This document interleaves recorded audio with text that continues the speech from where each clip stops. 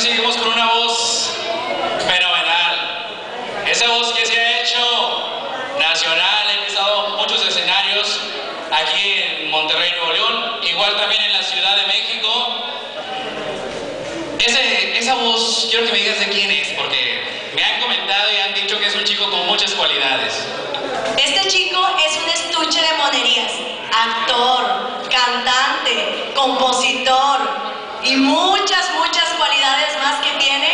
Pues se pisa hoy el escenario aquí, empieza solo y ahorita les tiene una sorpresa más. Pero en lo que se acomoda, vamos a seguir suspirando en nuestras mesas.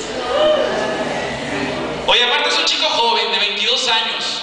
Él tiene una buena trayectoria ya que empezó a los 16 años a cantar en los diferentes escenarios.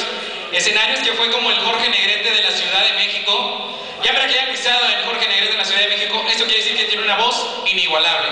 Aparte otras ciudades aquí, como el Teatro Combe, es mejor conocido como el Foro Procultura de Monterrey. Este chico tiene cualidades, aparte las agarró o de su papá, el señor Fernando